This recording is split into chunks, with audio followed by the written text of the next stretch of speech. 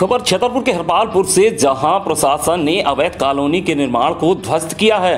यहाँ पर प्लाटिंग का काम जारी था बिना डाइवर्सन और बिना रेरा रजिस्ट्रेशन के।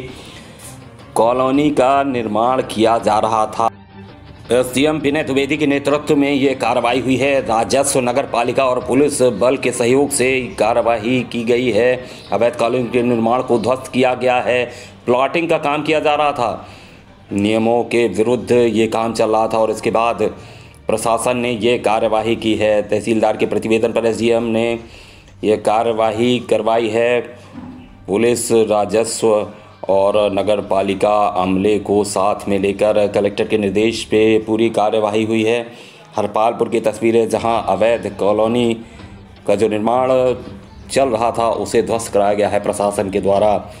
एसडीएम विनय द्विवेदी के नेतृत्व में ये पूरी कार्रवाई हुई है। हरपालपुर से तस्वीरें जहाँ अवैध कॉलोनी के निर्माण को ध्वस्त कराया गया है प्रशासन के द्वारा। सर ये क्या कार्रवाई हुई कॉलोनाइजर एक्ट के तहत?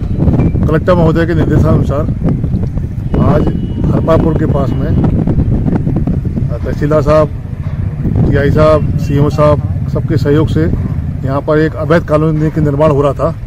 लगभग छह एकड़ में हरि गौतम द्वारा किया जा रहा था। इसको जो निर्माण किया गया था उसको ध्वस्त किया गया। सर यहाँ सभी कॉलोनी अवैध हैं लगभग।